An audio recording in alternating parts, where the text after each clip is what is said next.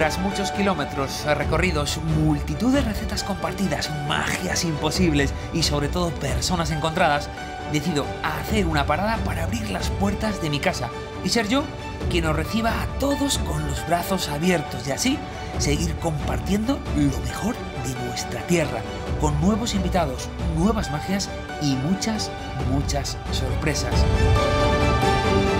Bienvenidos a Contigo Pan y Magia Home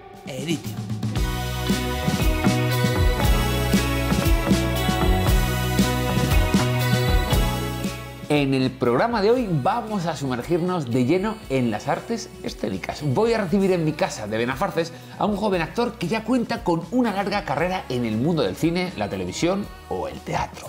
Jairo Sánchez. Ha logrado arrancarnos una sonrisa a todos gracias a su papel de Gus en la famosa serie El Pueblo. Me muero de ganas por pasar un rato con él, por poder conocerle de cerca y mostrarle las facetas de Jairo que muy poca gente conoce.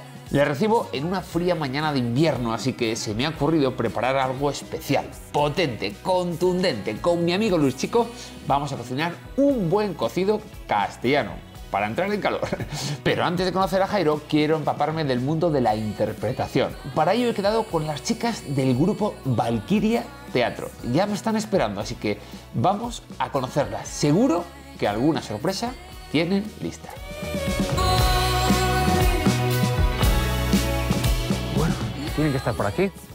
Las Valkyrias. Últimamente las veo mucho en internet en las ventanas, así que tendrán que estar aquí en las ventanas. Vamos a ver. ¡Eh! Hola, Miguel, ¿qué, tal? Ya sabía yo que habiendo ventanas. Hola, ¿qué tal? ¿Qué tal? ¿Dónde íbamos a estar? Oye, Claro. muchas gracias por, por venir a, a mi casa. Es que sabéis, hoy tengo de invitado a un actor de una serie muy conocida que se llama El Pueblo. Ah, sí, claro. Y he pensado que vosotras, como lleváis también a ciudades, pero también a pueblos, lleváis vuestro teatro como Valkyria. Eso es. Oye, ¿cómo se toma la gente eh, vuestras producciones en los pueblos más pequeñitos? Que quiero hablar en primer lugar. En los pueblos más pequeñitos, Sí. pues, pues bien, por supuesto, porque el público es maravilloso, está deseando que ver teatro, ver, ver cosas, vernos a nosotras. Claro. Hombre, claro, claro, sin duda. ¿Y cuánto tiempo lleváis como Valkyria Teatro? Diez años ya. Diez Sí. años hacemos ahora. Pero, ¿y Seis cómo- montajes ¿Cómo hemos os hecho. juntasteis? A ver, venga. Estudiamos juntas en la Escuela Superior de Arte Dramático de Castilla y León. Mm. Y de ahí surgió, digamos, vuestra magia y habéis empezado ya a La trabajar magia y el juntas. amor es. surgió ahí. ¿Y algún momento que recordéis de vuestra carrera que sea así, boom?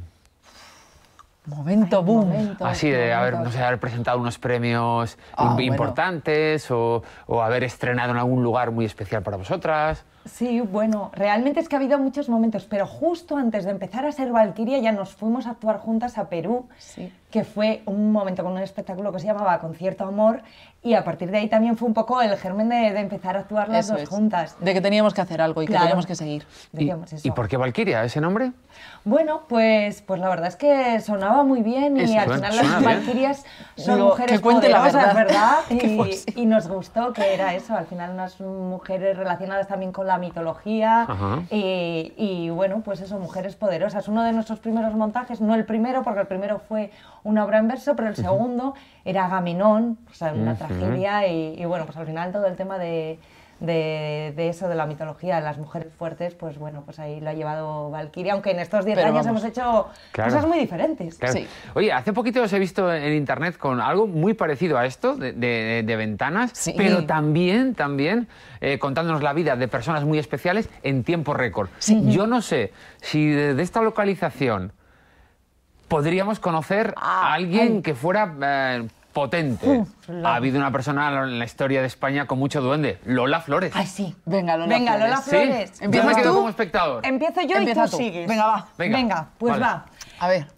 Les vamos a contar la biografía express de Lola Flores. María de los Dolores Flores Ruiz. ¡Ole! La faraona. Digo, Nacida el 21 de enero de 1923 en Jerez de la Frontera, Cádiz. es hija de un tabernero y una costurera, gente humilde. Desde muy, muy pronto Uy, se dan cuenta que tiene muchos dotes para el cante, para el baile, que por esas venas corre mucho duende con los chicagues. quiere ser pastor imperio por lo menos. ¿Eh? O imperio argentina. Bueno, un imperio, el que sea. Eh, recibe clases de baile con María Pantoja. Con Realito en Sevilla. Y el guitarrista Sebastián Núñez le enseña un arte que no se enseña, el flamenco. Así que debuta pronto a los 16 en el Teatro Villamarta, en su pueblo. Nombre artístico. Lolita Flores. Imperio de Jerez. Rondaba la ciudad el director Fernando Miñoni buscando actrices raciales para Martingala, una película. Y selecciona a Lola. Así que ya tiene un pie puesto donde tienen los tronos y las coronas para las emperatrices, en Madrid. Regresará a Andalucía para alguna gira, pero pronto la familia el completo Ay, sí, porque ya habían nacido sus hermanos Manuel y Carmen. irá a Madrid, hace giras por el norte. Le piden que cante cosas de Concha Piquer. Hace películas de poco relumbre, pero el día de la prensa de 1942 Interpreta a Lerel en el Teatro Fontalba de Madrid. Es un antes y un después. Mm, Con ese golpe de fama monta un espectáculo. Comparte cabeza de cartel con Manolo Caracol, uno de sus ídolos de infancia. Zambra se titula. Es un éxito no solo clamoroso, también duradero. Bueno, estuvieron por lo menos ocho años de gira por España, teatros llenos. ¿eh? La relación entre ambos no es tormentosa, no que va.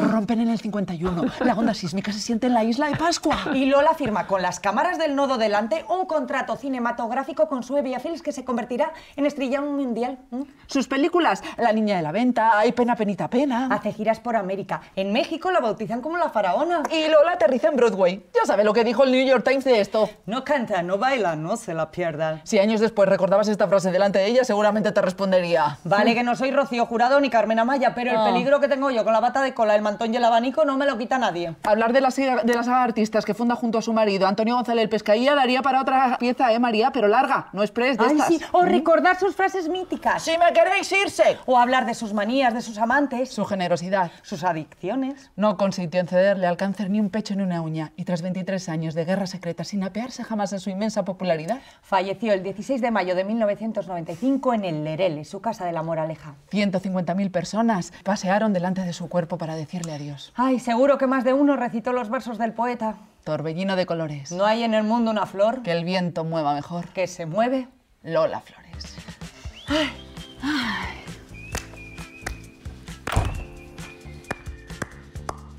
Qué bonito, de verdad.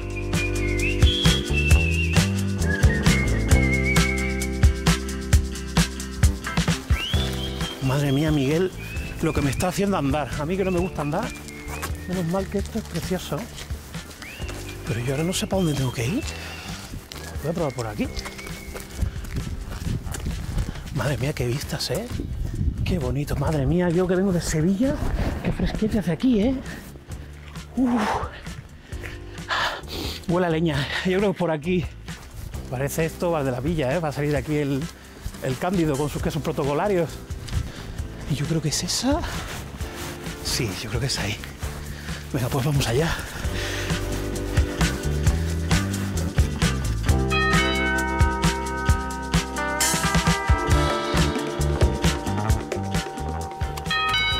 Miguel. Es aquí, ¿no? ¿Quién perturba la paz de... Hombre. ¡Hombre! Jairo, ¿cómo Por estás, fin, amigo? ¿Qué tal? ¡Uy, qué frío! ¿Te has pasado frío? Hombre, que yo vengo de Sevilla, que esto, esto para mí no es normal. Oye, ¿qué tal este pequeño pasito por el pueblo? Muy bonito. Yo no soy de andar, ¿eh? Pero merece la pena. Merece la Vamos, pena. no te hago pasar más frío. ¿Tiro? Sí, tira, quítate la chaqueta y vamos a sentarnos a la hoguera, amigo. A la hoguera, venga. Oye, Jairo, ¿qué ganas tenía? Oye, ¿Jairo o Pepito? ¿Cómo te llamo? Eh, Jairo, Jairo. ¿Y lo, y lo de Pepito qué es?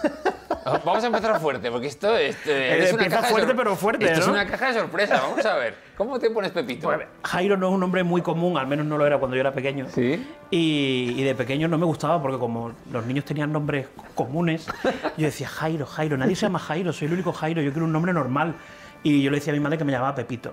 Entonces mi madre decía, al principio se negaba, porque decía, pues, mm, Jairo, por favor. Claro, tío. Después de que, que sufrió contigo.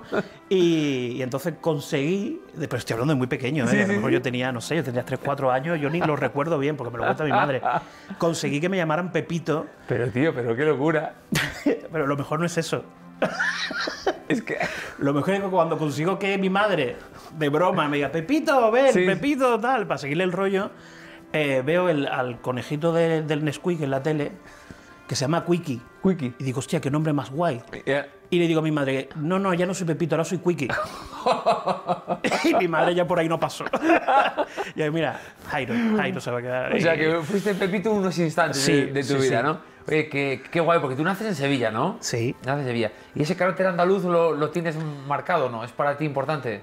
Sí, sí, sí. Mi, mi abuela por parte de padre es murciana. Anda. pero toda mi familia es, es de Sevilla y, y, mm, soy un sevillano un poco atípico porque no soy muy de Semana Santa, no Ajá. soy. La feria sí que me gusta más, pero tampoco soy mm, de ir todos los días. ¿no? Sí, Bueno, un día, déjame un día, por lo menos. Va, un día. Vale, vale, No, vale. hay años que no he ido a la feria, ¿eh? Hay años que no he ido a la feria. Ajá. Pero no- el flamenco me lo respeto, me encanta, Ajá. pero no, No eres fan lo absoluto, escucho, no, digamos. para Ajá. nada. Pero la tierra me tira muchísimo. O sea, mi gente, mi... He vivido fuera de Sevilla y echo mucho de menos mi tierra cuando no estoy en casa, la verdad. ¿Y cómo, cómo llegas al mundo de la interpretación? Qué buena pregunta. Yo no lo sé. No sabes. o sea, fue, fue un poco que, mm, que, que vino ella a mí. ¿Ah, sí? Sí, sí, porque yo eh, cuando estaba en el instituto quería estudiar música o quería estudiar interpretación.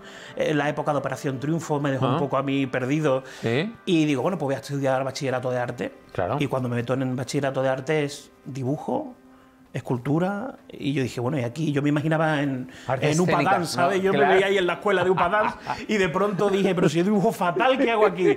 Y me fui al mundo laboral normal y corriente. He trabajado en un supermercado, he, hecho- he trabajado de aprendiz de confitero, en una fábrica de cerámica, he hecho de todo. Y, y, empecé a hacer teatro en mi pueblo, ¿Cuál es tu pueblo, por cierto? Valencina de la Concepción. ¿Está? Yo, yo soy en realidad de Mairena del Aljarafe, Ah, sí, que es un pueblo de Sevilla, conocido, sí, sí. pero con 11 años, 12, mis padres se mudan a Valencina de la Concepción y yo en el cambio de, de colegio-instituto Sí. Eh, empiezo en, en Valencina. Entonces yo siempre he dicho que me considero de allí porque es donde he vivido mi pubertad, claro. mi- la vida, ¿no? Ujú. y, y cuando llego a Valencina, bueno, un poco tiempo después, me da por hacer teatro. Pero bueno, así de repente, te, Sí. ¿por qué te apuntaste es que ese no sé primer día? decirte, siempre, siempre tuve esa inquietud de, de la tele. A mí siempre me ha encantado. Yo, de pequeño, cuando te preguntaban, ¿qué quieres ser de mayor? Yo quería ser presentador de concursos, Anda. te lo juro. O sea, los niños jugaban al fútbol, Sí, sí, o jugaban a- astronauta, lo típico. no Y sé yo qué. jugaba al juego de la oca. A presentar el juego de la oca.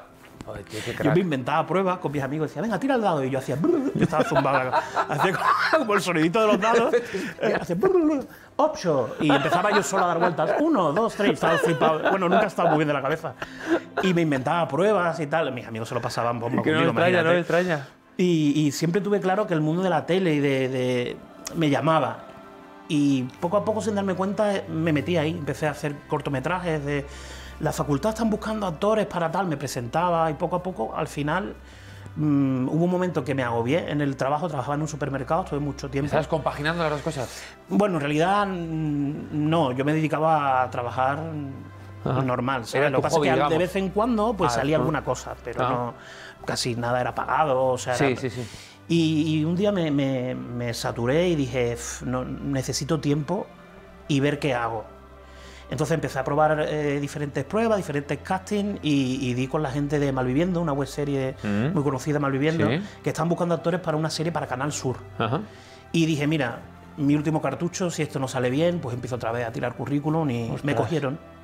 Bueno, Jairo es uno de los mejores actores con los que yo he trabajado. Es un tío muy inteligente en set, eh, muy ordenado, muy polifacético.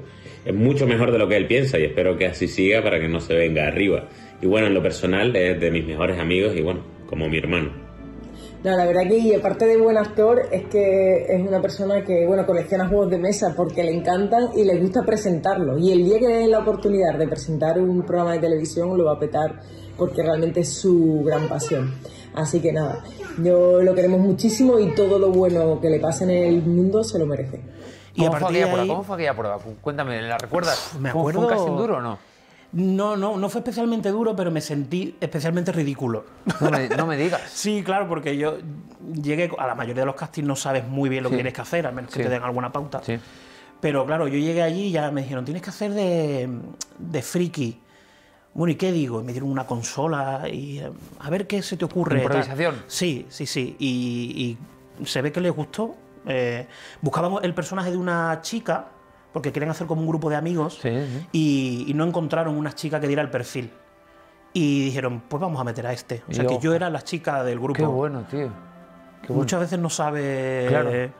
Es verdad. qué vieron en mí, pero me cogieron. O sea, si no te hubieras presentado a ese casting, ¿tu vida hubiera sido completamente diferente o qué? Mm, Igual no, porque de una manera u otra siempre, siempre he tenido ahí él. la cosita, ¿no?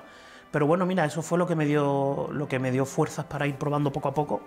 y hasta hoy. He tenido la suerte de que he ido siempre muy poquito a poco. Y eso mm, yo pienso que me ha hecho mantener los pies en la tierra, la verdad. Jairo, ¿y después de Malviviendo qué, qué, qué llegó? ¿Es una, ¿Es una serie que tuvo éxito? Sí, bueno, una serie que tuvo éxito en internet, Sí. pero no deja de ser una web serie. Sí, sí. Entonces te ven gente, te reconocen Sí. por la calle, Sí. pero lo que son los directores de casting y, y todo el mundo audiovisual es otra cosa, Sí, que no tiene nada mundo, que sí, ver. sí. Entonces fui poco a poco pues probando cosas. Dije, oye, un casting, me ido bien, pues voy a seguir. Y siempre yo a todo lo que pensaba que tenía una mínima posibilidad me apuntaba. Aunque fuera muy mínima la posibilidad. Y ahí estaba. Entonces fui llamando a puertas puertas hasta que, hasta que por fin doy el salto a, a Anclados, que es una serie de Telecinco. Tiene un personaje muy, muy pequeño. Pero fíjate lo que son las cosas que de primeras no me cogieron para la serie. Se grabaron tres pilotos de, de esa serie. Ostras, tres. Y yo entré en el tercero. Ostras. O sea, hubo muchos cambios, de, cambios de tramas, cambios de personajes. Y al final entré ahí y, y me vino un poco grande. No me porque- digas. Sí, sí, sí. Te lo ¿Por juro, qué? me sentí muy O sea, pequeñito. pero, eh, primero, o sea, después de Malviviendo, lo siguiente profesionalmente hablando fue Anclado. Sí, bueno, sí. ¿Hiciste alguna cosilla entre medias, quizá? Sí, he, he seguido trabajando con, con Different, con la productora de Ah. Malviviendo, en proyectos Sí. que han hecho ellos, algún corto, pero así a gran escala es lo primero. ¿Y por qué te sentiste abrumado? ¿Por qué, qué ocurrió? Hombre, porque de pronto, para mí hubo un punto de inflexión que fue eh, el primer día de rodaje que yo estaba en la sala de actores con Rosy de Palma Ostras. sentada a mi lado, Ostras. viendo los dos el programa de Ana Rosa, Ostras. y dije yo, Qué surrealista esto, tío. ¿qué hago aquí? ¿Qué hago aquí con esta señora? No, no, claro, claro. Con señora, con todo el respeto, Sí, quiero sí, claro, decir, claro, con esta pedazo de De actriz. sí. Y, y me cohibí un poco en cierta manera, porque claro, estaba Joaquín Reyes, estaba Miren Ibarguren, es que había un elenco de la ¿Te sentiste leche. pequeñito de repente? Sí, me sentí muy pequeño, me sentí muy pequeño. Y en cierta manera me arrepiento un poco de eso, pero es algo que me ayudó a, a- a darme de cuenta con el tiempo de decir, bueno, Es intenta normal. normalizar esto y ya Claro. está. Pero claro, de primera me sentí un poco No, no como, extraña. como el que llega a la ciudad por primera vez, ¿no? ¿Esto qué es? ¿Y cómo fue ese rodaje? ¿Fue bien? Fue muy divertido. La verdad es que fue muy divertido. Pasa que, claro, tenía un personaje muy pequeño, pero yo lo disfrutaba muchísimo. Yo me acuerdo que iba a grabar y para mí era como irme de excursión. O sea, me lo pasaba bomba. Y me gustó mucho. Lo que pasa es que me dio rabia no ser 100% yo, Ya. ¿sabes? Pero bueno, por Bueno. suerte luego he podido... Claro, es que a veces cuando nos enfrentamos a situaciones que son tan, Sí. tan nuevas ¿no? y tan Sí. grandes, a veces nos sentimos así peguitos, pero aún así que el, el- tu papel saliera bien, joder, es interesante eso, porque Sí. te podías haber venido abajo del todo. No, no, no, o sea, mm, me daba la fuerza suficiente el disfrutarlo, porque Claro. es que de verdad que yo odio madrugar, no hay cosa que me guste menos, odio estudiar, a quien le gusta estudiar, a nadie. Y en esta profesión es de mucho estudiar Mucho, y es de mucho madrugar. Mucho, es verdad, Pero es que verdad. cuando te toca madrugar para hacer esto, no me pesa, porque claro. voy con alegría. Claro. Qué, qué- qué importante no hacer las cosas que a uno le, le apasionan para Mm. que no cueste para que no cueste trabajo. Oye, y de tu primera relación con este, este elenco de actores, ¿te dieron algún consejillo o algo? Al- O al ser un papel pequeño, tampoco tenías demasiada relación con ellos. ¿Cómo fue? Cuenta, Sí, ¿qué- sí, no, yo me nutría de todo. Sí. O sea, yo iba empapándome de todo lo que podía y, y de todo iba cogiendo cosas, lo que me gustaba porque me gustaba y lo que no porque no. Pero me acuerdo que, que Miki Esparvé, en concreto, eh, me ayudó muchísimo. Porque yo creo que se dio cuenta un poco de que yo iba un poquito Anda, perdido. Y te eché una mano. Y entonces, claro, es que fue muy curioso porque el primer día que yo fui a grabar allí a la productora, estamos hablando de Globo Media, que es una productora Sí, claro, potente, me dejaron allí en la puerta de la productora, entré y yo no tenía ni idea de dónde ir. Y me quedé así diciendo, ¿qué hago? y estuve como cinco minutos esperando que llegara, que llegara alguien. Entonces se cruzó conmigo un chico de producción y me dijo, "Eh, ¿te pasa algo? Y yo, sí, que no sé a dónde tengo que ir. o sea, estaba perdidísimo. Claro, Ay, para bueno, ellos no tío. era, no era normal que, que claro, que este chico es normal, si es la primera vez que hace Claro, esto, claro, no tiene ni idea. Y hasta que no te adaptas un poco al sientas, espacio claro, y, a- claro, claro. y al día a día, bueno, yo, yo era... Estaba ahí perdidísimo. Ostras, qué bueno. Eso fue para ti un aprendizaje, entiendo, ¿no? Sí, sí, sí, sí. Oye, ¿y hay, hay mucho ego en el mundo de los actores o no? No. ¿Eh? Hombre, hay de todo, sí, hay, de, hay de todo. Hay- hay de ¿tú, todo. ¿Tú cómo lo llevas eso? Yo bien, Sí. sí, sí, porque a mí me gusta, ¿cómo te diría? Yo soy muy, soy muy social, entonces me gusta estar con todo el mundo, saludar a todo el mundo. ya te digo, igual que aprendí mucho de, de esa experiencia que tuve de decir, hay veces que muchas veces te sobrepasan las cosas, pero sé tú mismo siempre, porque al final es lo mejor. Entonces yo ahora voy a los sitios y soy voy saludando a uno, saludando a otro, me divierto, me lo paso bien y no me pregunto, Ya. ¿sabes lo que te digo? No creo que tenga el ego subido, creo, pero bueno, a lo mejor alguien te puede decir otra cosa, pero yo creo que no. Oye, ¿y recuerdas algún momento eh, extremadamente difícil que dijeras, "Buah, con lo a gusto que estaba yo en el supermercado, bueno, no sé si con lo a gusto que estaba en el supermercado, pero me podía haber dedicado a otra cosa? A tal punto de desesperación no. Pero sí recuerdo cuando grabé Anclado, yo me fui a Madrid a vivir. Sí, claro, claro. Y, y hubo un momento que lo pasé francamente mal porque íbamos a grabar la segunda temporada. Eh, volví a Madrid, yo estuve un tiempo en Sevilla, volví a Madrid y, y supuestamente en dos tres semanas íbamos a empezar a grabar. Y cuando llego allí me dicen que se ha cancelado la serie y que no va a haber segunda temporada. Ostras. Y dije yo, bueno, ¿y ahora qué hago ¿Tú yo con aquí? tu piso cogido con todo? Claro, claro. ¿Qué hago yo aquí? Entonces, claro, yo eh, tenía una pareja en Madrid y me dijo, quédate aquí, ya vemos qué hacemos. Mm, vamos a ir tirando, pero quiero que estés aquí, no quiero que te vayas. Claro, Digo, claro. bueno. Y hubo un momento que lo pasé muy mal porque es que no salía nada, absolutamente nada. Y esto es así. Sí, hay veces sí. que te viene todo junto y hay veces que estás seis meses, un año, un año y medio, dos, sin que suene el teléfono y sin que te cojan de ningún sitio. Jairo, has pasado un poco de frío, ¿no? En el camino. Que soy sevillano, me, me he venido arriba y cuando... Oye, baja corta, eh, baja corta. Oye, estoy preparando con, con Luis, el alcalde de este pueblo de Nafarces, un cocido castellano que te va a chupar los dedos. Dame un segundo, ¿eh? Vale, te espero aquí. Sí, es que quieto ahí, que vale. un cocido, que esto va a ser una cosa. Qué rico. ¡Luis!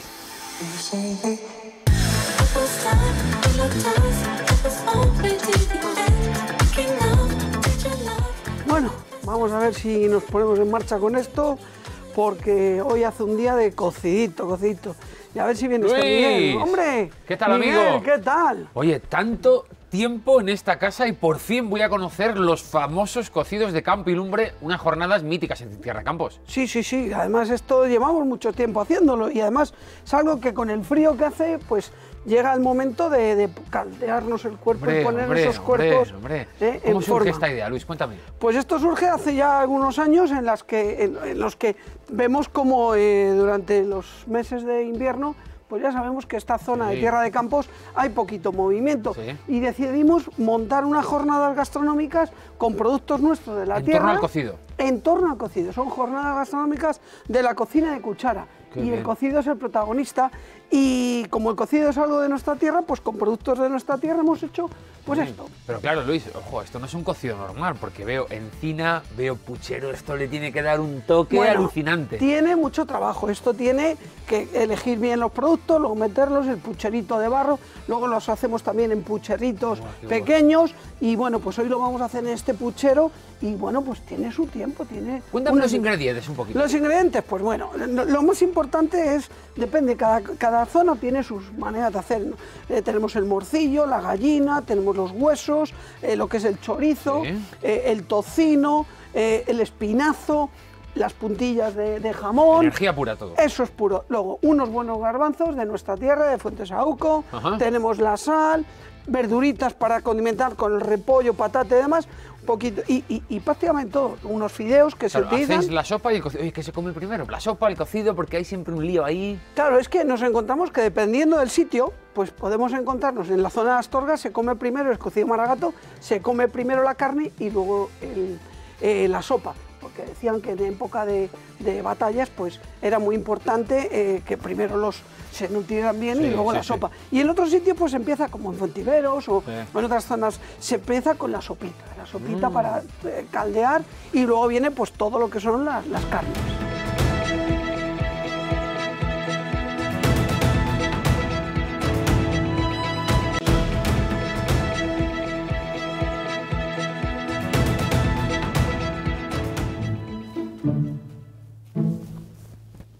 Miguel. Madre mía, me habían dicho que aquí se esperaba, pero. Uf, ¿Cómo huele? Me tengo un hambre. Vamos al lío. Bueno, pues venga, vamos Venga. a empezar echando unas ¿Qué? cositillas O sea, por has aquí. puesto un poquito de agua por lo que veo ahí. Sí, se pone un poquito de agua para, para empezar. eh, le ponemos la gallina. Jamón, un gallina. Bueno, vamos a hacerlo que, que, que, que, que- que empezamos mal, si no... Ah, los que- garbanzos los primero. garbanzos Vale, lo vale, vale. primero, además, que Está si en no- remojo desde ayer. Están de remojo desde ayer, se echan... garbanzo un bueno mon- tenemos en la provincia de Zamora, ¿eh? Claro, claro. Se echan mía. los garbancitos, vamos a echarle ya la gallinita, vamos a echarle un huesecito, un poquito de morcillo. Oye Luis, como te veo muy, Bueno. muy pim pam, pim pam, pim pam, yo te dejo aquí con tu, con tu magia y ahora no nos vemos, porque si lo hago yo, esto no va a ser, va a ser un desastre. No, no, Sígueme hombre. trabajando bueno, el cocido, bueno, el cocido, Bueno, bueno, bueno, este Miguel, este Miguel, mucha magia, pero pocas nueces, ¿eh? Así que nada, bueno, pues vamos a seguir eh, con los distintos condimentos y vamos metiéndole un poquito de tocino.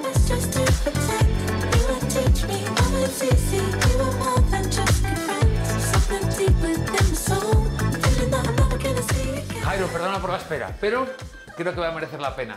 Eso espero. Un cocido castellano, pero, pero rico, rico, estoy haciendo. Además que es que este pueblo, sabes que estamos, tú también vienes de un pueblo pequeñito, ¿no? Sí. Digamos. Bueno, estamos en Benafarce, estamos entre la provincia de Valladolid y de Zamora, en un pueblo que- pequeñito, pero tiene un alcalde muy, muy, muy, muy majete, ¿no? Y hoy nos está ayudando a hacer un cocido porque yo te digo una cosa, hago un programa de cocina, pero soy un desastre. un desastre con la, con, con la cocina. Pero tú, cantando, no eres tan, de- tan desastre. Bueno. Cuéntame cómo fue aquella experiencia de tu cara no me suena todavía. Bueno, aquello fue de un morro total. ¿Cómo morro? ¿Cómo morro? A ver, cuéntame, A mí cuéntame. el programa me encanta, tu cara me suena, Sí. me encanta. Entonces siempre yo soñaba con estar ahí en ese programa, que bien me lo pasaría estando en ese programa. Y veo que hacen un, un casting para gente anónima y digo, ostras. Y si me presento, digo, pero, digo, "Ah, pero ¿quién imitaría? Empecé a darle vueltas, a darle vueltas y me acuerdo un día que estuve en un karaoke, eh, los karaoke me vengo arribísima, y, y me puse a cantar por África la bomba. Joder, tío. Y me acuerdo que estaba yo cantando la bomba y tal, y de pronto me giro y había un tío en la barra del karaoke que hace. Y yo cantando, bomba. Dice, este hombre, ¿qué le pasa? Se viene para mí en mitad de la canción, me empieza a dar golpes en el pecho y me dice, me creía que estaba la canción puesta. ¡Ostras! Y yo, ¿en serio? Me dice, sí, sí, que me creía que era la canción. Y cuando te he mirado a ti cantando, he dicho, hostia. Y Qué dije, guay. voy a hacer el gamberro en la tele. Y me presenté vestido de Kináfrica al casting. Me pinté la cara de negro. O sea, fue súper ridículo. No me extraña que te cogieran Pero mola, se lo tío. pasaron bomba Hombre. y yo disfruté muchísimo, muchísimo, Qué, muchísimo. qué guay, qué guay. Para gozar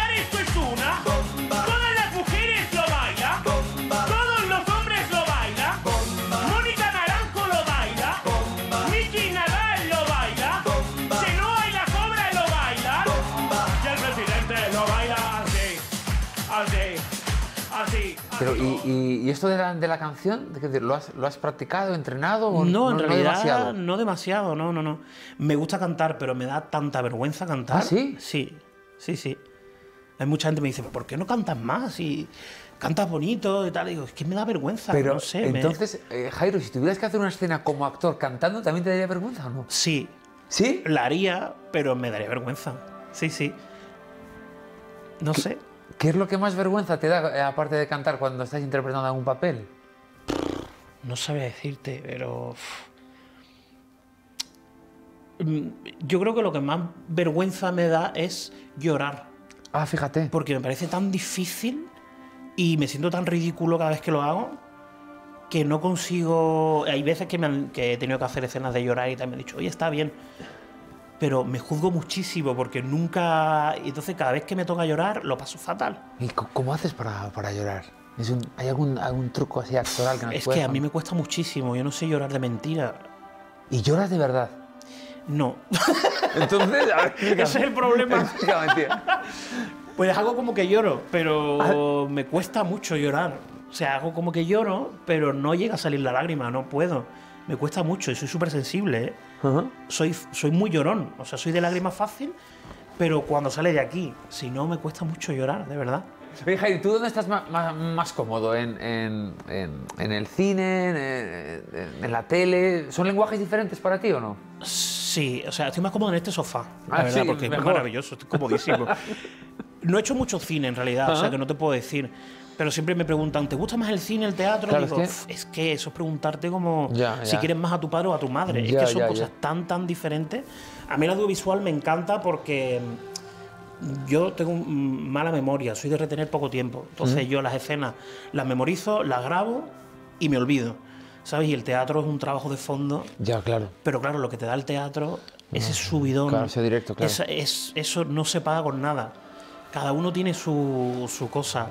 Claro. Pero ¿cómo te gustaría verte aquí a a 10 años? ¿Haciendo qué? Venga, Trabajando. Mójate un poco. Ya, me gustaría verme trabajando, me gustaría verme. Me gustaría tener mi propio concurso en la tele. Eso es una Ah, cosa que siempre he querido claro, es tener. verdad, es verdad. Y me encantaría ser presentador de, de un concurso cultural. un- Joder, pues yo creo me que- encantaría, te lo, te lo juro. Es como una de las cosas que siempre he querido conseguir. Y ahí sigue como sueño latente, a ver qué pasa. Pero Me Sería un perfil chulo el tuyo para, me encantaría. para, para presentar. Pero más rollo un 2-3 o, rollo la, o, o más rollo saber y ganar. Hombre, yo creo que me lo pasaría mejor grabando, haciendo algo rollo 1, 2, 3, 2, 3. porque en el fondo soy un poquito showman. Sí, sí, sí, y me encanta, ¿no? El espectáculo y tal. Pero presentando un concurso tipo Saber y Ganar también me encantaría, guay, ¿eh? También. Qué guay. Uno de mis referentes es Ramón García, con eso te lo digo No, todo. bueno, claro, no me extraña, Ra- Ramonchu. Oye, pues yo a ti con capa te veo, ¿eh? te veo con capa, ¿eh? Bueno, no sé si me sentaría igual, pero. Te veo con capa. Bueno, bueno, bueno, ya está esto en marcha, a ver qué tal nos queda. Madre mía, a ver, a ver, a ver. Esto. Madre mía. Uf, esto está. Pero vamos, como chupa pan y moja, esto es terrible. ¿Cómo nos va a quedar este cocidito? Yo creo que ya es cuestión de, de ir esperando y poquito a poco darle vueltecitas y a ver qué tal nos queda. Va- Vamos a hablar de tu llegada a esta serie más maravillosa del pueblo, que es uno de los motivos por, eh, por el que también estás hoy aquí, ¿no? Porque nos parecía muy interesante que una serie grabada en un pueblo de, de Soria, de nuestra tierra, de Castilla y León, Sí. pues uno de los actores viniera también a, una, a, una- a un pueblo, ¿no? Eh, como, como es este. ¿Cómo llega esa oportunidad para trabajar en una serie como esta? Bueno, pues a mí me llega el casting a través de representante. Ajá. Me dice que me quieren ver para, para la prueba de la serie, como otro casting Sí. más. Y, y me encantó el personaje. O sea, yo cuando lo vi dije, ostras, al final ah, siempre hago de friki, porque casi siempre me toca hacer de friki, pero siempre intento buscarle los matices y hacer cosas diferentes. Sí. Ya cada vez voy jugando más porque me voy sintiendo más, un poco más seguro Más haciendo lo que hago. claro, claro. El ego, es verdad, puede ser que el ego esté ahí un poquito. Sí. Ahora sí, ahora lo reconoce. Ahora lo reconoce. Pero bueno, a- pero bajito, bajito. Controlado. Vale. Y, y me hicieron una prueba de, de casting, les gustó, pero querían verme eh, en, una, en una separata más cómica. Me hace la, la prueba la diré de casting y le gusta, pero en principio no les encajaba demasiado porque el personaje era un poquito más mayor, eh, rondaba los 40 años, físicamente mm, pretendían que fuera así un chico gordito, pero gordito, no gordito. Entonces había ciertas cosas que no terminaban de encajar, pero les gustó mucho mi prueba. Y dijeron, vamos a darle otra oportunidad, vamos a verle en algo más cómico. Y, ya ahí tuvieron claro que era yo. Y te mandaron a hacer otra prueba entonces. Tuve que hacer dos veces Más cómica. dos castings, sí. Sí, sí. Y allá, pum. Y ahí ya me cogieron. Sí, me llamó mi repre diciendo, ¿te han cogido? Joder. Lloré. Hombre, no me extraña. Lloré. Ahí sí de verdad. Ahí lloré de, Ahí verdad. Sí, de verdad. Sí, sí, sí, sí. Joder, no me extrañas, Y- qué, qué guay, ¿no? ¿Tú y- sabías que, que la gente del pueblo era la gente de la que se avecina? Y supongo que lo... Sí, sí, yo sabía que, lo- que los dires y que el equipo eran, eran los mismos, pero claro, cuando, cuando de pronto te ves ahí, ¿no? Grabando con ese equipazo, porque el equipazo es la leche, la verdad. No sé si se puede decir esto, se puede decir, ¿no? Sí, hombre. Tampoco es tan... Eh, de Jairo se podrían decir muchas cosas que no caben en 30 segundos, pero aparte de ser uno de los compañeros con los que más me divierto trabajando en la serie, mm, os diré que tiene serios fallos como persona, que es no haber visto películas míticas como por ejemplo Tiburón y Regreso al Futuro. Nadie lo entiende. Eh, espero que la bronquéis, como la broncamos todos, por este tipo de cosas, pero aparte de eso no se puede decir nada. Eso es lo peor que se puede decir de Jairo Sánchez. Dejaos sorprender por Jairo. Jairo, te quiero mucho, bro, ya lo sabes. Besos a todos. O sea, es una experiencia... Al principio fue duro, porque la primera temporada no teníamos cobertura, O sea, es real. Es real. cobertura. Es uno O sea, de los problemas no que- había que, tenemos en, en la primera temporada no había esta. cobertura. Eh, claro, el pueblo Val de la Villa, que es un pueblo precioso, está abandonado hace mucho tiempo y allí no hay nada. No hay una panadería, no hay una farmacia, no hay un bar, no hay nada. Pero ¿cómo grabáis eso? ¿Vais allí a ese pueblo y estáis allí vi- Estamos viviendo? allí viviendo. ¿O vi- ¿Allí? Sí, sí, sí. ¿Y dónde dormís? ¿Dónde? En las casas de, de la serie, arriba. O sea, hay algunas habitaciones que son plató Sí. y hay otras que son habitaciones de, de los actores. Ostras. Entonces el resto del equipo vive en los pueblos de alrededor porque no cabemos, pero el, el equipo artístico vive, vive allí, en el mismo pueblo. Es una pasada, porque además es, como que No, claro. te crea una familia, no es como un gran hermano Sí, for- sí, sí, forzado. Y la experiencia es real. O sea, al principio eh, mandar un WhatsApp o, o entrar en Google es imposible. O sea, fíjate cómo sería de desesperante la situación que descubrí que en el cuarto de baño, si me metía en la ducha y levantaba el brazo, me llegaban los WhatsApp. Esto es real, ¿eh? Es que es fuerte. Ya te estoy viendo ahí duchándote con una mano y con el WhatsApp ahí. Sea, imagínate la desesperación digo. sería. Y ya en la segunda temporada ya sí pusieron repetidores y ya sí teníamos internet. Pero al final eh, seguimos en las mismas. Si necesitabas cualquier cosa, te tenías que ir a San Pedro Manrique, que es un pueblo Claro. precioso que hay al lado. Y, y ya te podías abastecer, pero si no, no hay manera. Oye, yo creo que esta, que esta serie, además de ser una serie bueno, di- divertidísima, ¿no? Pero al final es una serie dura, ¿no? En el sentido de que, joder, estáis eh, Mm. mostrando una España que es más habitual de lo que nos parece y, y estáis haciendo, yo creo que uno- una labor maravillosa en ese sentido. ¿Tú sientes esa responsabilidad o simplemente eh, interpretas a Gus y te diviertes y tal? Pues o- en principio no, no, no sentía, no sentía la magnitud de, de lo que hacíamos. Porque la serie también está siendo muy divertida porque va desde. A todos nos va fatal las cosas. Y eso, y eso es lo, lo gracioso en realidad. Lo que ¿no? une a todos. Tiene mucha ternura la serie por eso. Porque los personajes, a todos les acaba saliendo las cosas mal. Es verdad, es verdad. Y de ahí, de lo más, la miseria más profunda, sale la comedia. Y es lo, es lo divertido. Y cuando empezamos a grabar la serie, pues, pues no, yo me divertía con Gus y tal, pero, pero luego eh, empezamos a conocer la, la gente de las Tierras Altas que son maravillosos, se entregaron con nosotros, no te puedes imaginar de qué manera, y, y es una pena, ¿no? Da pena que sitios tan bonitos y con tanto encanto se vacíen porque no hay, no hay trabajo, no hay, no hay Claro. y encima no, no se hace porque esto cambie. Claro. Que es lo que realmente. Porque se podría hacer perfectamente. Sí, sí, sí. Joder, pues qué mensaje más importante, además en una, en una región como la nuestra, ¿no? Castilla León, una región tan amplia, ¿no? Y que... y tan veces- bonita, que tenéis una tierra. Y tan, tan, tan despoblada. Oye, ¿cuánto tiempo tardáis por curiosidad en, en grabar una temporada? ¿La, la hacéis del, del tirón? ¿Vais parando? Sí, sí, normalmente sí. Eh, la primera temporada grabamos el primer capítulo eh, aparte para hacer el Sí, piloto para que piloto. lo vieran y tal. Y normalmente se graba entre mayo y septiembre, abril, septiembre, mayo, octubre, sí, más o menos. Un verano. un Todo, el, verano ve- todo el verano allí en el pueblo. Sí, sí, Es sí. increíble. Yo no sabía que os quedáis a dormir allí. Claro, y comer de catering, supongo, ¿no? Todo Claro, el día. tenemos allí un comedor y comemos allí, cenamos allí, todo allí. Qué bueno, Sí, qué sí. bueno. Oye, ¿y cómo, cómo es tan tierno Gus? O sea, es que es para comérselo. Es, es un poco je- es un poco jeta, es un, es un poco vago, joder, ¿eh? Ahí, Pero un poco- un un poco poco bastante, bastante. vago, pero no te sale reñir, ¿no? Aparte que tienes una, una madre maravillosa, ¿no? Pero yo a veces me digo, "Jo, si Gus fuera mi hijo, es que no, no me saldría a reñir, ¿no? Pones esas caras de, de- de bueno con la gorra así que dices, pero en el fondo eres más listillo de lo que parece, ¿no? Bueno, no te creas. ¿No? es bastante ingenuo. Lo que pasa es que él cree que es más listo, pero en realidad tampoco es tan listo. Hombre, sabe, sabe muy bien por dónde tiene que Ah, amigo. él sabe muy bien por dónde Amigo, tiene que ir. Para seguir consiguiendo lo que quiere, que es vivir del cuento. Exacto. Pero claro, yo traigo ya de fábrica esta cara de que me dice, no tienes cara de buena gente. Y bueno, solo, solo en la cara, en la fachada. Que el, el personaje se lo da y la gente me, me dice, me encantaría ser amigo de Gus. Sí, es verdad. Y a- como a Gus le gustaría ser amigo de todo el mundo todo el también, pues entonces estupendo, todo cuadra. De todo el mundo. Oye, Jairo, estoy muy a gusto hablando contigo, pero se me, va, se me va a pasar el arroz, como el que te dice, pero no es el arroz, son los garbanzos. Mira, con la comida no se juega, ¿eh? No se juega con la comida. Hacemos una cosa, me voy al patio a hablar con Luis a ver cómo va el tema y si te parece me esperas en cocina. Vale. ¿Sí? Venga.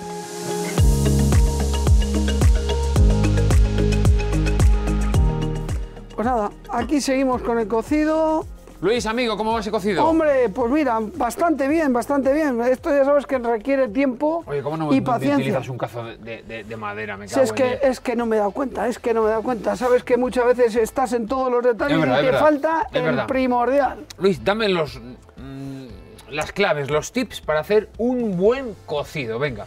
Pues hombre, yo creo que lo importante, eh, buena materia prima, que eso está Ya clarísimo. hemos visto antes. Y luego algo muy importante, paciencia, tiempo, dedicación. ¿Cuánto, cuánto? Esto puede estar 3-4 horas. Nosotros habitualmente lo hacemos, Miguel, a las eh, 10, o- 10 y media, 11 de la mañana, prendemos todo fuego y luego, eh, cuando empiezan a estar las ascuas, se preparan pucheros grandes pucheros pequeños y se llena todo. Y eso empieza a cocer. Y luego, poquito a poco, vamos rellenando los pucheros. Porque ir quitándole, que es muy importante, fíjate, muy importante, ir quitándole, no sé cómo se llama, toda la grasaza esta que hay. arriba, se que quita. queda arriba, sí. Que esa, eso se va quitando. Y pum, pum, y laborioso. Entonces, prácticamente estamos dos, tres, tres horas bien a gusto haciendo el cocido. El, el resultado Sí, no, no, claro. espectacular. Yo entiendo que hacerlo en puchero y no en cazuela, ¿no? En Eh, la de- de acero inoxidable, por ejemplo, el barro, el barro le da otra. Esto es como el buen vino. Sí, sí. Eh, depende de los ingredientes que utilices o depende de dónde lo hagas, pues el barro es algo nuestro, es tradicional y queda mucho más sabroso tanto la cocción del garbanzo como todo. Y luego mantiene el calor, que eso es también importante para Y que la encina también le aporta... Exacto, la madera, Que es, ¿no? es eso toque importante. Esto recuerda porque campo y lumbre tiene mucho que ver con esto, la lumbre de mi, de, de mi abuela, que nosotros hacíamos muchas veces, eh, mi abuela hacía en la lumbre baja, hacía los cocidos, hacía todas estas eh, cocina tradicional. Y yo creo que esto es una de las cosas que intentamos recuperar, esa cocina tradicional. Por cierto, ¿has probado si esta tiene mucha sal o no? Yo por si acaso, déjame que eche un poquito. Voy a probar. Hay que echar un poquito, ¿no? Sí. Venga, voy a, voy a hacer yo algo para luego poder decir que he hecho yo el cocido, Pues porque si no... echa- echa un Venga, poquito vamos a- Ahí. Ahí está, dale bien. Muy bien. Bien. Bueno, Luis, pues te voy a dejar, luego ya me lo preparas tú un poquito. Me gustaría que lo preparas en pucherito, porque yo creo que, que va a estar más guay, ¿no? Bueno, te lo puedo preparar en, el en los pucheritos o si quieres en un plato para que puedas. Ah, venga, vale, vale, vale, perfecto. Según veamos cómo sale. ¿Me lo llevas? Te Oye, lo luego, llevo. ¿Dónde luego ya lo de, lo de recoger esto ya te encargas tú, Luis, ¿eh? que eres... que- que esto, madre mía, para recoger, la, para recoger uh, las Este madre mía. Miguel es siempre terrible. Ay, volvemos a decir, mucha magia, pero pocas nueces, ¿eh?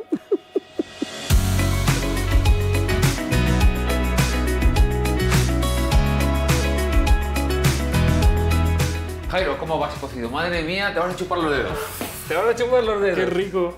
Oye, cu- cuéntame antes de, antes de, de pasar al mundo de la magia, que por cierto, ya sé que tú hiciste magia cuando, cuando eras Bueno, ni- bueno, niño. bueno, bueno. ¿Cómo, cómo surge la idea de hacer un concurso en, en redes sociales? Ya vuelves otra vez a tu idea de ser presentador, ¿eh? Sí. Cuando pasó todo esto de la pandemia, Sí. eh, estaba en casa como todo, ¿no? Un poco hastiado, un poco... Sí, claro. Y dije, oye, ¿por qué no...? En verdad fue una cosa más egoísta que, que otra cosa, ¿eh? Y dije, ¿por qué no hago un concurso en, en Instagram, como estaban de moda los directos y tal? Sí. Y voy a hacer un concurso de preguntas. Entonces empezó como una cosa así muy tonta y, y poco a poco hubo gente que, que cada tarde lo hacía y, se, y jugaba y tal. Entonces yo interactuaba con la gente, la gente entraba en directo en, en el en Instagram y se quedó una cosa divertida y empecé a hacerla todos los días en la pandemia. Y claro, llegó un momento en el que ya no era, no era factible podías, hacerlo no todos los días porque no no podía. Y, y se me ocurrió de, de pasar a la plataforma de Twitch, que se puso como muy de Sí. moda, y ahí de vez en cuando voy haciendo temporadas de, de un concurso que Qué me inventé, bueno, tal, porque digo, si yo quiero ser presentador y nadie me da la oportunidad, Venga. pues me la doy yo, ¿sabes? Y, la cuan- oportunidad. y cuando puedo me, me paso por Twitch y hago, hago cositas guays. Y ha llegado el momento de hacer una magia, pero an- antes, venga, antes, oye, antes cuéntame, Jairo, tú con tu magia borras en el, en el cole, ya me estás quitando a mí el trabajo. Pero lo ¿Cómo- sabes todo, tú, ¿qué todo, pasa? todo, todo. Soy mago, soy mago. ¿Cómo te digo para hacer? Me gusta mucho la magia. A ver, eh, nunca, nunca he desarrollado la magia, ¿Sí? pero me gusta mucho la magia. Y me acuerdo que en el cole una vez hice una, hice una función de magia. Entonces me llevé el magia borrás, típico de, de bueno. niño, Sí, sí, sí. y empecé a hacerle truquillos ahí a los amigos de clase. a- Qué bueno. Y me acuerdo que a- al poco de, de hacer el show, me partí, me, me hice un E15 de tobillo, no me partí, fue un E15. Y me escayoraron la pierna. Entonces me acuerdo de una niña que al día siguiente decía, ¡ay, el mago! ¡El mago se ha roto la pierna! ¡El mago se ha roto la pierna! Vamos, el, el mago no hizo magia más El mago ya roto la pierna. Pero me encanta la magia. Qué me bien, tío. encanta. Oye, pues yo te propongo un reto. Voy a, A ver. tratar de sorprenderte. Además, fíjate, eh, había pensado mucho qué, qué poder hacer contigo y al final me he decidido por algo muy sencillo, porque para mí vuestra serie es algo muy sencillo, pero a la vez sencillo en el sentido lo que percibimos, porque Vale, es vale. un- tiene un nivel de complejidad, yo, yo lo sé. Pero a la vez es muy intenso, es una serie muy intensa y muy emocional. Y de alguna manera conseguís, eh, no sé, que, que se traspasen eh, emociones. Yo creo que quizá también uno de los éxitos, además de, no sé, de la grandeza y de la simpleza de los personajes, son las emociones que hay co- continuamente, ¿no? Y entonces voy a hacer algo y te voy a proponer lo siguiente. si ver. te consigo sorprender, aunque solo sea un poquito, tú pones, tú pones la mesa. Es que lo llevo fatal. lo poner la mesa. ¿Qué es- ¿Pero esto qué es? Ya, ya abuso de tu confianza. Es Bueno, que pero yo- fregar los platos no, ¿no? fregar los platos no. Vale, venga, va. Es que yo, yo soy un chef y los chefs no ponen por la Soy mesa. difícil de sorprender, ¿eh? ¿En serio? No. Bueno, lo voy, a, lo voy a intentar. Mira, lo primero que voy a usar va a ser una baraja francesa que tiene picas, corazones, rombos y triángulos. Bueno, Sí. hasta, hasta aquí no, no tiene nada. Pa- eh, para hacer que las cartas sean únicas en el mundo, yo lo único que te voy a pedir es que firmes la primera carta. Vale. Eso es. Firma aquí la primera carta. Aquí. Eso es. Deja el, el rotulador aquí. Y mira lo que vamos a hacer. Voy a dejar el 2 de corazones firmado por ti. Es una carta única en el mundo. Y le pones la mano encima. Así, totalmente la mano encima. Y la siguiente carta que quede la voy a firmar yo. En este caso es el 4 de rombos. Ponemos aquí M de Lucas y hacemos una línea. Ahí está. Perfecto, ¿de acuerdo? Ahí está. Hasta aquí nada, ¿no? 4 de rombos firmada por mí y 2 de corazones firmada por ti. Bueno, aquí viene lo que yo te decía de, de traspasar las emociones. Yo voy a intentar de alguna manera traspasar las emociones. Una carta firmada para ti quizá no sea emocionante. Para mí tu carta es muy emocionante. Por lo tanto, que mira, voy a hacer así, una, dos y tres. Y mira lo que, lo que ocurre. Que aquí viene tu carta. y ahí, da la vuelta. No puede ser. Sí, sí, sí. Y ahí ¡Buah! está. Mo- No me he sorprendido. No. No me he sorprendido. mo- ¿Mola o no, o no mola? Mira que he estado pendiente de la carta, digo, no la voy a, no la va a tocar, no la voy a mover. pero- Mira. Además, mira lo que vamos a hacer con esta carta. Una carta firmada, única en el mundo. Mira, ¿eh? Mira lo que hago. Mira, ¿eh? La rompo en dos pedacitos. La rompo en cuatro pedacitos. Y el último, el último corte, que es más complicado, hazlo tú. Qué presión. Sí, sí, que yo mientras tanto voy a coger por aquí. Si A mí es que para mí esto es como partir una guitarra, si me da una un pena pañuelo- tremenda. No te preocupes. Bueno, la verdad que sí que da un poco de pena. Pon aquí los trocitos, por aquí. Da un poco de pena porque son todo, es una carta que está firmada. Pero mira, mira, voy a hacer como hacen lo- los magos, eh, los magos antiguamente. Nada por aquí y nada por allá. Mira, simplemente voy a hacer así un pequeño agujerito en el pañuelo Sí. y todos los trocitos, todos los trocitos van dentro del pañuelo. Hasta aquí no hago nada, ¿de acuerdo? Sí. Lo primero que ha ocurrido ha sido que la carta ha viajado de un lado a otro, pero ahora la hemos roto. Y la dejamos aquí, con todos los trocitos rotos. Bueno, esto va a ser muy fuerte. Muy fuerte, tío. Esto va a ser muy fuerte. Mira. Va a ser de poner la va mesa. Ser, va a ser, va a ser de poner la mesa. Ojalá, me la estoy jugando, ¿eh? Ver, Yo soy muy vago, entonces me tengo que superar. Mira, eh, eh, dos, cuatro, ocho trocitos, me parece. Mira, Sí. una, dos y tres. Mira. Mira, no queda ningún trocito. Una carta rota, completamente rota. El cuatro de diamantes firmado por mí. Fíjate en esto. Una, dos y tres. Dale la vuelta. Qué rabia me estás dando. ¿Cómo es posible? Ahí está. ¿Te he sorprendido? Sí. Sí, pues nada, a poner la mesa. Adiós, majo. Bueno, pero espérate, ayúdame aunque sea con el mantel o con algo, ¿no? ¿Se ha pirado? ¿Me toca a mí? Pues me ha dejado a cuadros, pero claro, es que no- yo no sé ni dónde están las cosas aquí ni nada. Pues, ¿Voy poniendo la mesa ya? Bueno, en el horno no va a estar, está claro.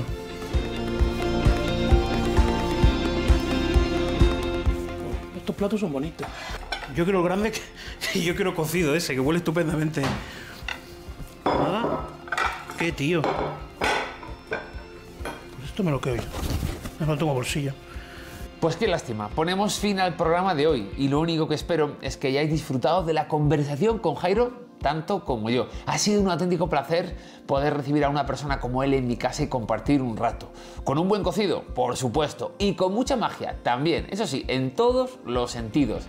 Os doy las gracias de corazón por habernos acompañado una semana más y os espero aquí, en vuestra casa, en Contigo Pan y Magia. Qué fuerte. Esto me lo quedo también.